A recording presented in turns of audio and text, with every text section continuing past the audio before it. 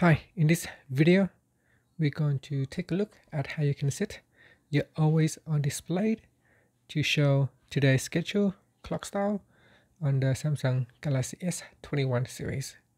First, let's go back to your home screen by uh, swiping or tapping on the home key at the bottom of the screen.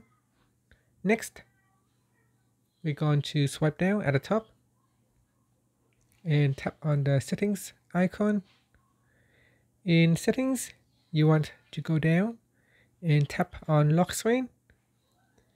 In lock screen, tap on clock style and in here choose always on displayed. Next, we're going to tap on the more clock button right here. And then tap on this icon right here, which is to show today's schedule. So you tap on that if it is on something else, then you tap on that, it will show, show today's schedule from calendar. And then we're going to tap on the back key.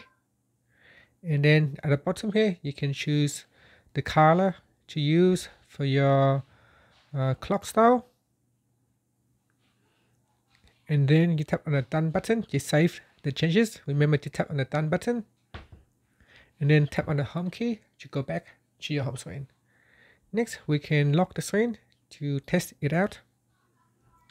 And you can see this is the color we have just chosen. And this is the event for today uh, schedule on my calendar. So I've got uh, buy chocolate, take the bin out, and meet meeting with Steve. So that are my schedule for today. Uh, yours will be something different depending on your calendar schedule. And that's it. That's how you can show the calendar schedule on your always on display. Thank you for watching this video. Please subscribe to my channel for more videos.